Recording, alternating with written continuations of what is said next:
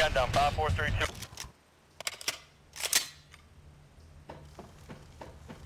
The M4A1 has been the standard issue carbine for the United States Army since 2010. It is a full pound lighter and more portable than the M16.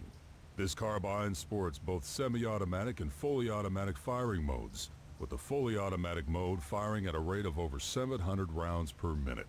This weapon utilizes a 30-round magazine of 5.56 ammunition and has a muzzle velocity of 884 meters per second.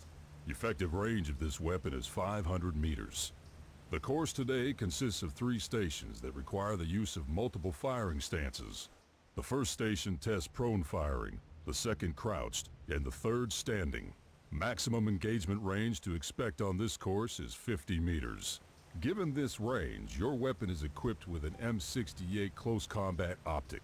This optic allows you to engage targets out to 300 meters while keeping both eyes open for situational awareness.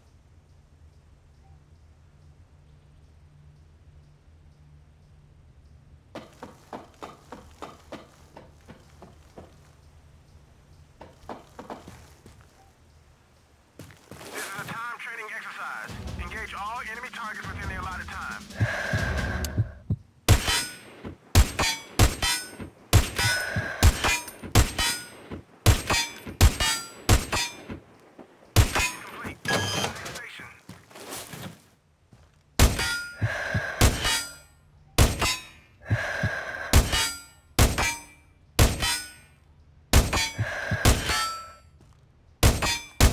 Charlie, move to the next